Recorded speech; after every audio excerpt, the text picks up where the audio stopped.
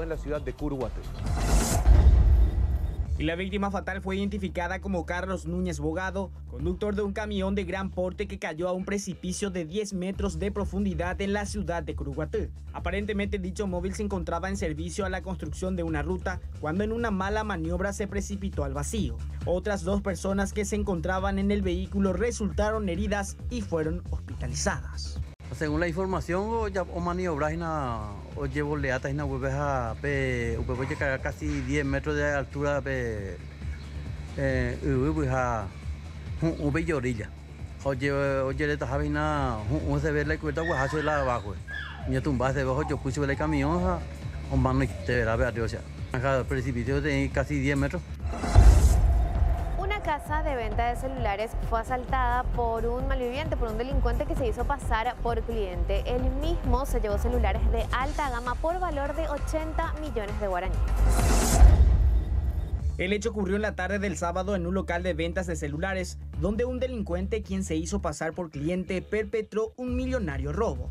El hecho quedó captado en las cámaras de seguridad, el cual se observa como el hombre se lava las manos antes de ingresar al local y una vez dentro desenfundó su arma y obligó a los presentes a tirarse al suelo. Luego obligó a un empleado a vaciar una caja fuerte para luego alzarse con celulares de alta gama. Lo robado rondaría los 80 millones. Al llegar, entra como un cliente, se ven los videos cómo se lava las manos, y yo le digo que ponga al revés el kepis, y luego entra ya, y cuando entra ya saca el arma y nos encañona. Eh, tengo también dos testigos que son clientes que estaban ese día. Y, nada, y pasó lo que pasó. Primero te piden los teléfonos, Los teléfonos, así mismo. Primero los teléfonos y luego eh, pide que le cargue todo y luego pide el dinero. El dinero que estaba justamente. El dinero que está en la parte de atrás también, así mismo. ¿Intentó golpearte? No, pero actuó con violencia, pero no hacia nuestra persona. Un violento asalto ocurrió en la localidad de Colonia María Auxiliadora, perteneciente al distrito de Fuerte Olimpo. El negocio, que es un mini supermercado, llegaron tres hombres totalmente a cara descubierta y se llevaron un millonario botín, dinero en efectivo, joyas y hasta cervezas y cigarrillos.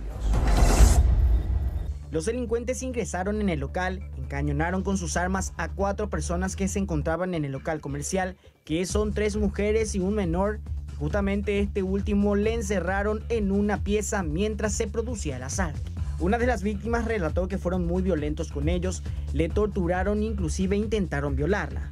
Le rasgaron la ropa y le hicieron apagar la luz para que puedan sacar el dinero que tenían guardado.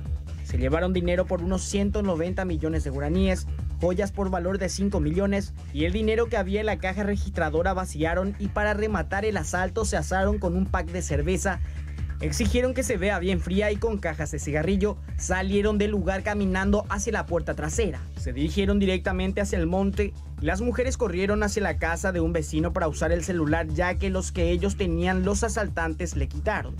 Dieron aviso a la policía que llegó en el sitio después de haber sido perpetrado el violento asalto que deja en estado de shock a las familias.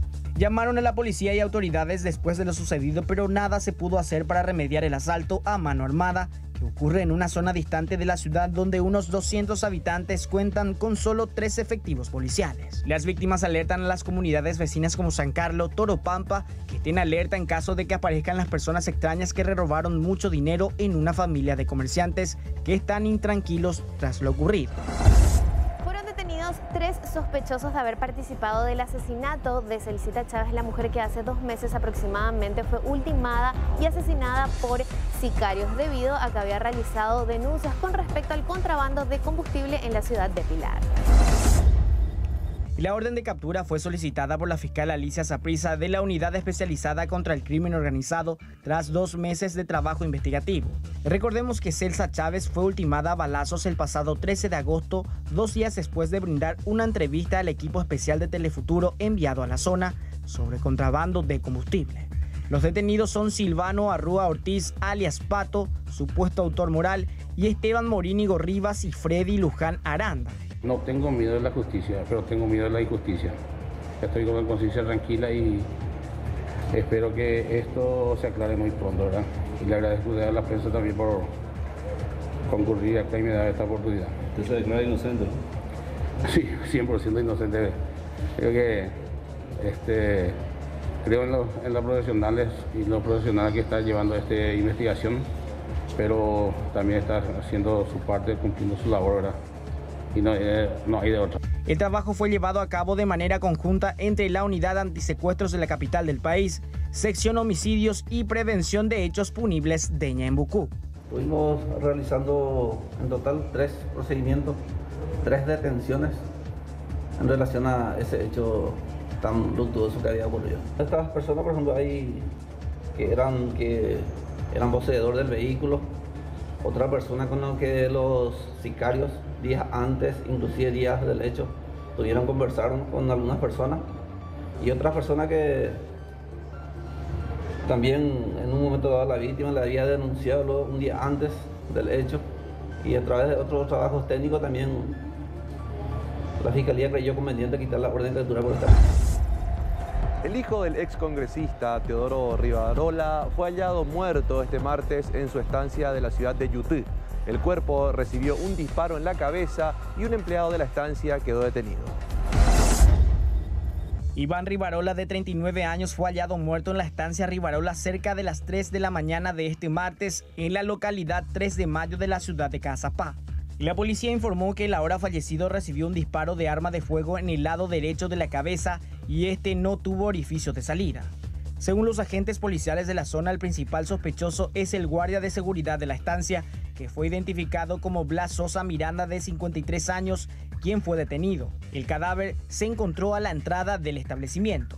De momento se desconoce qué tipo de arma se utilizó para matar a Rivarola. El fallecido era oriundo de la ciudad de Asunción y visitaba constantemente la estancia. El mismo es hijo del exdiputado durante el periodo 1998-2003, Teodoro Rivarola, quien ya falleció en el año 2008. El caso será investigado por el Ministerio Público que se encargará de indagar más información tanto por parte del sospechoso como de otros funcionarios del establecimiento. Asaltantes autores de robos, asaltos que se realizaron en Tacuatí y también en Santa Rosa del Aguaraú. Durante los allanamientos se incautaron armas, vehículos y dinero en efectivo. En un tempranero allanamiento simultáneo en cuatro viviendas en prosecución de una investigación de asalto a mano armada ocurrido en Tacuatí y de asalto tipo comando ocurrido este lunes en Santa Rosa de la Guaraú. Fueron detenidas tres personas, dos hombres y una mujer. Además incautaron armas de grueso calibre y revólveres, dinero en efectivo de 17 millones de guaraníes, un automóvil, cinco motocicletas y celulares ocurrió en la compañía Castillo Cue, distrito de Tacuatí, San Pedro. La suma de dinero considerable que los detenidos no saben tampoco explicar la procedencia del mismo. Las armas utilizadas son similares también a otros hechos que ya estamos investigando, justamente porque habían relatado que eh, serían fusiles, por eso destacamos acá que es una escopeta eh, modificada con cargador y que, que, es una réplica de una AK-47. Todos esos datos tenemos, estamos todos ya prácticamente documentados con el Ministerio Público, acá con, encabezado por el señor director, eh, Ministerio Público haciendo todos los procedimientos de rigor, incluso ahora con, la, con estas 16 son los celulares incautados, esto vamos a llevar a estudio y va, seguramente va a arrojar más datos para...